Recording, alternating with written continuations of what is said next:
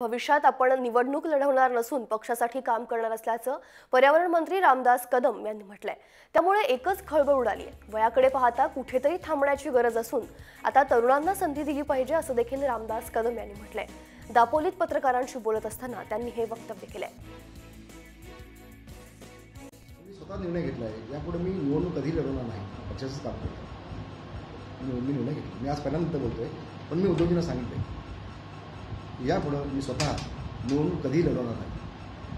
मी पुढं पक्षाचंच काम करणार आता आमची वय आम्ही बघितली पाहिजे. आणि आता तरुण मुलांना संधी दिली पाहिजे. आम्ही किती किती किती वर्ष आम्ही हेच पुढे बसणार.